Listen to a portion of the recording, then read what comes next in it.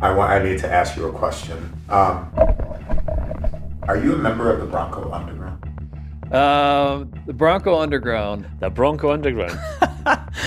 yes, I am a proud card carrying member of the Bronco Underground. Absolutely. Yeah, absolutely. I didn't know we were called the Bronco Underground at the time, but I suppose I was a member of it, yes. Well, the first rule of Bronco Underground is you don't talk about Bronco Underground. Well, that's exactly what we're going to do talk about Bronco Underground.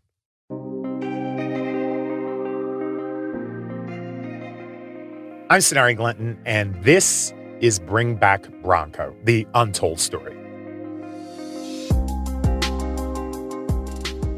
Now, we spent the first four chapters asking who killed the Bronco, but now it's 1996 and the Bronco has been replaced by the Expedition. So I've got a different question to ask. If you love something enough, can you bring it back to life? Are there enough people and enough passion out there to bring Bronco back? Well, let's find out. When production of the Bronco was stopped in 1996, two things happened. Around the country, thousands of Bronco owners began coming together. They recognized that the 4x4s they were driving were now a part of history. This was the beginning of Bronco Nation. Now, at the same time, inside Ford, a clandestine movement called Bronco Underground was formed to bring it back.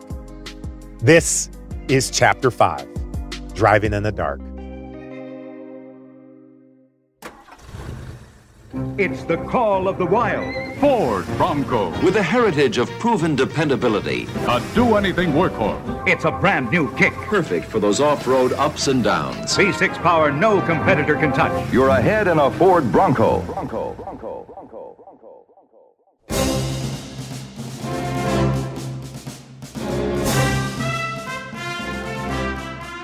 Does anyone remember the A Team? Dun dun dun dun dun dun dun. You know, a crack commando unit. They escaped into the Los Angeles underground. If you have a problem, if no one else can help you, maybe you can hire the A Team. God, I love that show. Mr. T, George Peppard. This is great 80s television. Not really, but the secret to their success is that they worked without rules. They didn't wait for permission from their superiors, they just acted. And as a result, they were able to get things done. The A Team was the ultimate skunkworks project. In that way, they had a lot in common with the Bronco Underground. But remember how Hannibal would always say, I love it when a plan comes together? Well, in that respect, the Underground was a little different. Did you have a strategy or like of how to how to bring it back? Uh, yeah, why not? Yeah, did you? Not really, to be honest. That is Mark Grueber. We tried to come up with different plans, but I don't know if I would really call it a strategy. I think it was just we're going to keep pushing on it and try to figure out how to make it happen. Mark is going to be a really pivotal character in this story, so you should probably get to know him a little bit. Right, right, right. Yeah, I like some of the, you know, I like to rock to some ACDC for a couple of their songs or whatever. Mark comes across as a teenager trapped in a grown man's body. He walks the way high school kids do. You know, he doesn't really carry himself like a regular Detroit executive. He's a jeans and t shirt kind of guy with the ever present Ford merchandise. Today, it's a Bronco t shirt. I would say I dislike minivans just because it's got no personality. It's just so practical and functional. I just feels like you're just driving a box around. For Mark, working at Ford is a family thing. Uh, so I'm actually a fourth generation, believe it or not, at Ford. Um, Second here. There you go. So I had uh, both my parents work for Ford.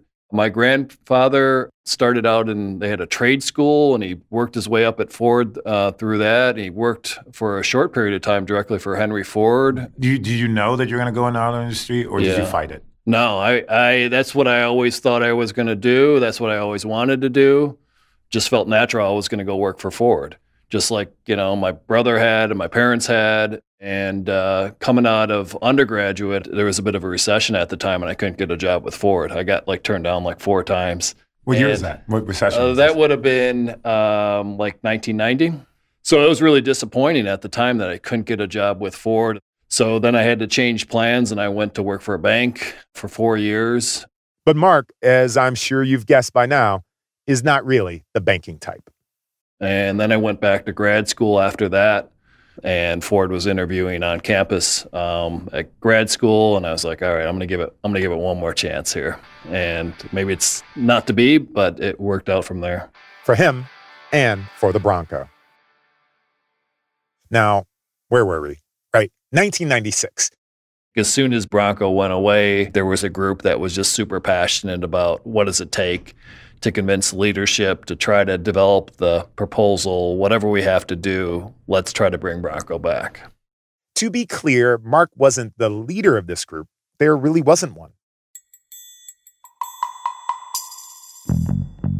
There's no formal membership to Bronco Underground. It's I would describe it more as just a commitment of uh, who's ever involved in that to be passionate and do whatever they can to try to get Bronco back. He worked on the Bronco at night, on weekends, on his lunch hour, really whenever he could push his real work to the side of his desk. The underground would meet in the cafeteria or maybe chat in the elevator. Sometimes it was just a nod during a meeting.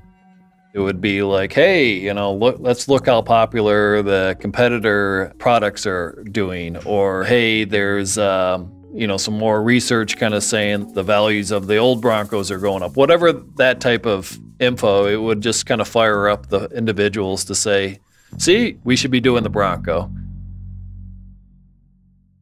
Underground members were sprinkled throughout the company. One of them was Tom Patterson. And there was this passion about the people that got together. And just like the A team, they were an odd collection of characters there was the MacGyver who understood how to engineer what it would take to get a legit off road vehicle. Then there was kind of the brains who knew, ah, okay, we can build it at this plant, and this is how much it's going to cost, and this is the fuel economy target we're going to have to meet. The customer, that was me. That was my skill set of what I brought was customer uh, insights. And then we had a studio person. I refer to them as the sketcher. the sketchers would, you know, they were they were doing stuff. So, I mean, you had a pretty good cross section of people. All those people had full-time jobs where they had to answer to their bosses, but things were different on the Bronco. It was freedom. There was nobody telling us, "Oh, you know, you got to go to this executive or you got to go to this meeting." It was just like, "No, no, we're going to get together on our free time and we're going to make a, a paper that says you should do this and here's all the extensive thought as to why and how. Typically kind of be almost like can you kind of do this you know on your lunch hour? Can you do it after hours? Um, but you are using ford resources to kind of do that. Um, so might be frowned upon but um, you know i think there was just so many people with such passion um, that kind of wanted to make it happen the Underground's first goal proved there was demand for a new Bronco. Now, if they built it, would anybody buy it? Well, the proof was found hiding in the foothills of East Tennessee.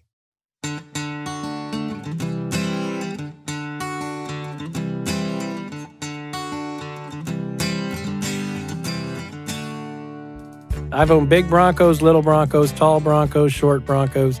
Tom Broberg is, was, and will always be a die-hard Bronco fan. My daughter has an early Bronco. My son has an early Bronco. My other son has a full size Bronco. So, uh, my, my parking lot, my driveway has always been full of Fords. By the late 90s, all those Broncos were orphans, abandoned by their maker. You know, we were having a little bit of uh, missing it. So, we had to do something to help keep our blood blue and keep that Bronco enthusiasm going. And a community needs a shared history, stories and rituals that bind them. So Broberg decided he would become the teller of those stories. And me and my wife, Donna, we started Bronco Driver Magazine. Quite laughed at by the crowd when uh, we started a magazine de- dedicated to just the uh, Ford Bronco. To be clear, it was the magazine crowd that was laughing. The Bronco crowd loved it. We feature great stories, great people. We've developed a, quite a following. I call it a, a cult following of uh, Bronco enthusiasts that uh, love, eat, breathe everything Ford Bronco.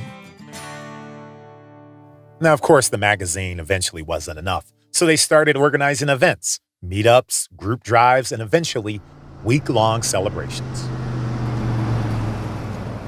So uh, if you go to one of these events, you're going to find people that have the same interest as you do, and you're probably going to have 30 vendors selling parts. Uh, you're going to have a bonfire at the night. You're going to have all sorts of camaraderie and entertainment going on. It's crazy how similar brain patterns people have, regardless of where they live in the America, where regardless of their socioeconomic status, regardless of their political, you know, affiliation. They all love each other. They all get together, and it's all based on the Ford Bronco. At the East Tennessee event, you'll find 600 Broncos sharing the field. Some of them have guitar racks in there. Some of them have gun racks. Some of them have no tops. Some of them have roll bars. You, you know, I don't know the mathematics of the lottery, but the mathematics of the what you could do to a Ford Bronco would probably uh, challenge the number in which a lottery is, you know, million to one different looks. These parties are for hardcore Bronco fans only. You aren't allowed to bring any other vehicle onto the grounds. So if you're a vendor selling t-shirts and you want to bring your stuff in a minivan, sorry. Well, they would say sorry anyway. You'll have to park it on the road and walk your stuff in. You'll see what's called the slow crawls. We'll line Broncos up and see who can race across the finish line the slowest which is, uh, you know, they, these, these guys have them geared down and double transfer cases in there, and it's just kind of fun to take a new twist on an old thing. A new twist on an old thing applies to the owners too. It used to be your farmers that would come out, you know, with their overalls. Now you're getting to see a little bit more of the penny loafers and, you know, the the Izod shirts. So it there has been a transformation in the last 18 years, um, which is a good thing. You always have to have new blood for an old thing. I've been to a lot of auto shows, and this isn't a typical auto show, and it's definitely not a beauty pageant. It's not just sitting around with a diaper, wiping your car, you know, if somebody breathes on it. They actually take them out. We use them in the national park. There'll be destination drives to lost cities. Um, and, and it just gives the Bronco community a, a good excuse to come to the Smoky Mountains. Okay, so driving in the backcountry in trucks that are pushing 50 years old, guess what? Things break. Carry a half inch wrench and just about go anywhere, you know? Uh, uh, and, and the old carburetors, it was just spark, gas, and you're, you know, you're, you're going. But if something broke, you know, we'd be fixed in a, an hour and back on the trails without having to have a computer. So, yeah, that is a lot of the allure still today On all their drives, there is one place they don't go. Just 20 miles away is the Alcatraz East Crime Museum, home to the white Bronco from that famous 1994 police chase. Actually, we drive right by it on some of our drives. You can see the crime museum as we drive by, and I've never seen anybody pull off and stop to just see that Bronco. It's just not something that um, you know, it's just pretty standard Bronco for one thing, but it's not, you know, they, they rather look at something cool than something uh, with with that kind of history on it. Campfires and drives in the Smoky Mountains are awesome. But are they enough to compel Ford to revive the brand? Well, not in the short term.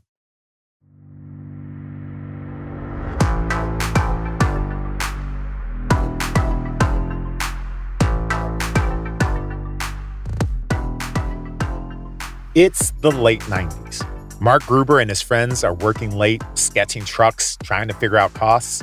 Meanwhile, the success of Tom's Magazine and dozens of fan groups that grew into Bronco Nation have clearly shown that people are still in love with the Bronco. So now the underground has a new goal. When you're trying to change the direction of the battleship here, that's really freaking difficult to do because you're needing to convince not only you know your peers and the people in the other groups but you're needing to convince all their leadership because that's who they're taking direction from To get their ideas taken seriously, look, they needed a champion, an executive with enough clout to smooth the way. These guys needed a godfather. At the top of the house, it just, you know, there was not a lot of love for it. And, you know, it just frustrated the heck out of myself and others to say, we don't get it. Why why are we not bringing this product back? It makes all the sense in the world to us. One explanation is that these executives they're trying to convince, in many cases, are the same people that had killed the Bronco in the first place back in 1996. You're almost asking them to say, hey, something's changed or the decision we made before is wrong. Now, those executives, they saw things just a little bit differently. The Underground is trying to revive a brand that was created for freewheeling 60s. They're talking about sunny skies, fresh air, the wide open road. But that's not exactly what Ford honchos were seeing as they were driving home from Dearborn through Detroit and its suburbs, especially in the late 1990s. At that point, a Detroit native born son, a lawyer, Dennis Archer, is elected mayor. That's Bailey Sasoy Moore. She's my guide to all things Detroit. He inherits a mess. Smallest population, in 60 years in Detroit. We're under 600,000 people, making us the only American city in the country's history to have a population over 1 million fall below 1 million. We have a public school system that used to be one of the finest in the world that is now struggling even to stay off the top 10 worst list. We've got huge deficits. City taxes aren't being paid. Our water is the highest in the nation. Every, every time you say this, I, I, I want to go hard times. Hard times, yeah. It was it was bad, and there, there's no sugarcoating that. Was good stuff happening? Yes. Was the Detroit Institute of Arts the fourth largest art museum in the country and doing amazing exhibits? Absolutely. But was stuff bad? Feet on the ground? Was it hard to be a Detroiter? Absolutely. I remember there was a slogan what, what is it? Stand up and tell them you're from Detroit. Is that the one? Yeah, but part of the slogan was when you travel, say nice things about Detroit. And I remember people thinking, we're broke. We're not traveling anywhere. Where do you think we're going to like spread the Detroit gospel? But there was this real chip on our shoulder because Detroit was feeling, in a lot of ways, like we got used, like we were there when everyone needed us, but now greener pastures and they left.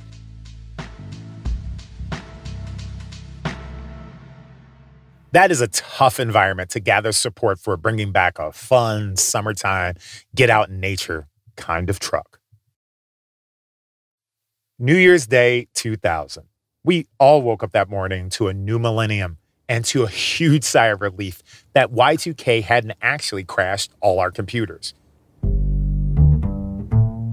Right around then, deep inside of Ford's top secret design studios, the underground started something new. Well, we thought, well, let's let's let's do a Bronco, and there was many iterations of Bronco in the past, where we sort of decided to really pick on what we thought was the, the original Bronco and, and be true to that. So that's Moray Callum, a visionary in the car design world. He was also a member of the Bronco Underground. I grew up in Scotland, and uh, uh, I probably didn't see a Bronco until I was in my twenties, I imagine. But and I, and I think it's always a case of you you you you sort of lust after what you can get, as it were. And so he made his own code name U260. We did a four door hardtop, and we did a two door convertible. It was bright red. It's it's sort of it, it's it's it's inspired by '66. Very simple, very plainer body side, very clean, but, but uh, and very utilitarian in a way, I would say. To my taste, because I'm an early Bronco fan, uh, it was a, a, very attractive SUV, very reminiscent of the early Bronco. Um, it looked stunning. That's Robert Parker. Yep, the same Robert Parker that was a supervisor in the call center on the night of the OJ chase. Well, it's now a decade later, and he's in Ford's product planning division. It was designed and essentially ready to move into the engineering phase. And it was a good time to be designing SUVs. Every division within Ford was working on them. Plus, they had just spent $2.8 billion to buy Land Rover, the premier luxury brand for off road trucks in Europe. Well, we had a, a, a huge research event in California, I remember, and we had SUVs from Ford, Lincoln, Mercury, Land Rover, Volvo, all lined up. It was supposed to be a celebration of the future of the company. But seeing them all together in one place gave a very different impression. You know, when you looked at it, you did have to kind of step back and go, is that too many SUVs? Ford owns so many brands, they were in danger of cannibalizing their own business. There was a lot of debate around what the heck, you know, are we doing with an SUV at Mercury? Shouldn't we take SUVs out of Mercury's lineup? And does Lincoln need an SUV if we've got Land Rover and Volvo? Now, all of those brands had established reputations in the market. Land Rover, in particular, was a premium name that Ford had just invested a pile of money in. And then the U260 was something new and unproven. And it was the company's view at that stage that we had too many SUVs and um, needed to not have another SUV in the stable. And uh, so Bronco um, was the one that was canceled.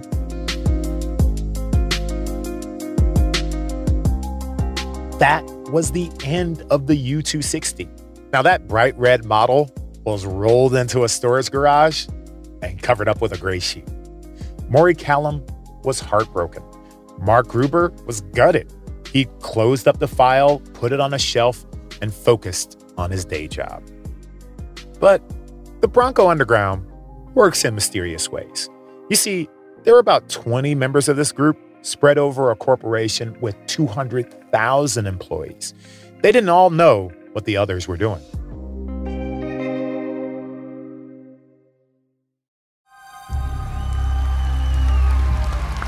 Welcome to the 2004 Detroit Auto Show. Now, it starts with the most ridiculous video I've ever seen. There are stars and planets swirling around through space, and then the camera zooms into planet Earth.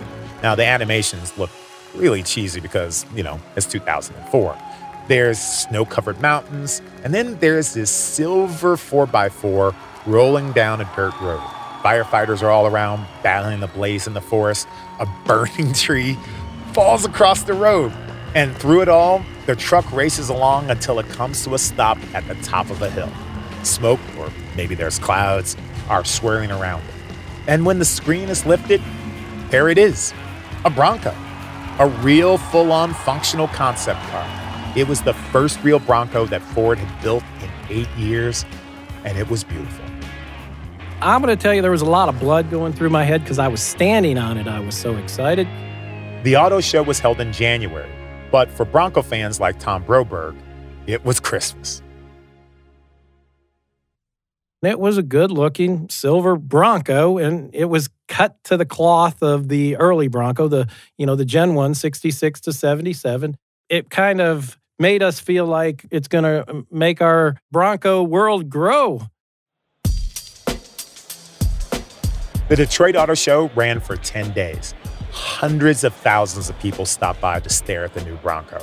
And in April, it wowed a whole new audience at the auto show in New York City. It was like a mythical beast. A brand that had been out of the market for almost a decade had now suddenly reappeared. Then, nothing. Bupkis. Weeks, months, nothing. Uh, a year later, n- you know, nothing happened. What happened? Where did it go?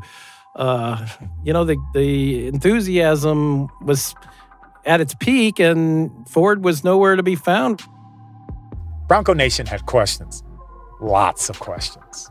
Whether they were going to do it, whether they were not going to do it. You know, they had taken the Bronco out to uh, around the country to a few shows, and uh, you know, it was kind of like a crescendo, and then boom, the orchestra quit. They got up and left, and there was a. We were all just kind of shaking our head. Where did they go? It was something that we never got answers to, and and to this day, I still don't know whatever happened. Uh, as Paul Harvey said, I don't know the rest of the story. I think there's a fair amount of people that simply gave up. That's Robert Parker. You know, some of those diehard Bronco enthusiasts just resigned themselves to the fact that Ford wasn't going to do this. So they just resigned themselves and went and bought a Jeep.